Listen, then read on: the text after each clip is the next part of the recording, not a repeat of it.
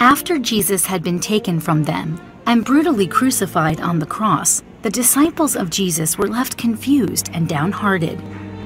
It had been three days since the tragedy when two of the disciples began the seven mile journey to a village called Emmaus. When they traveled together, they talked.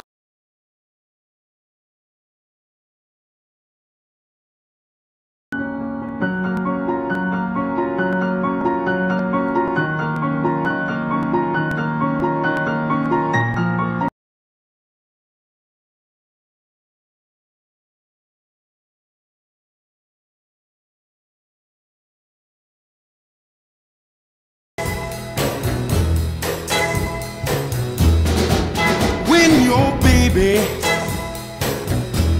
leaves you all alone.